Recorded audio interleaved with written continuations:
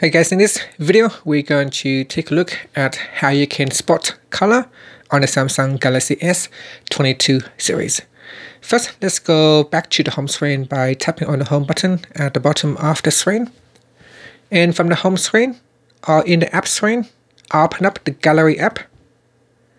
Next, we go down and open up a picture that you want to spot color.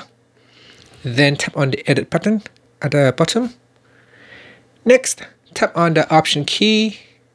In here, tap on spot color from the pop-up menu. Now the picture will go to black and white.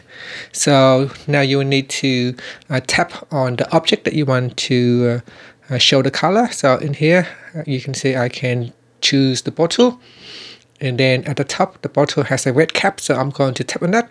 Now when you select a red cap anything that's related to red color will shows in color. So you can see the pot right here at the back has a red color so you can uh, erase it. Now if you tap if you try to tap on the remove color button what happens is if I tap on that pot right there you can see the caps will also goes back to uh, black and white. So what you need to do is we're going to add that red color back in. And the pot is still red so now we're going to use the erase instead.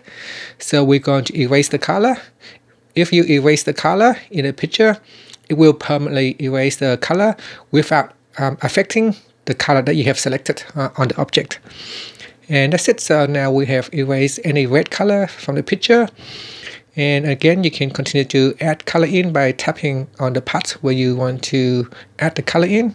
Otherwise we can erase it and that is how you can spot color only uh, two different functions here you got add or remove uh, color and the other one is to erase the color erasing the color will not affect the color on your selected object after that you can tap on the done button and then tap on save to save the changes and that is how you can spot color on the Samsung Galaxy S22 series.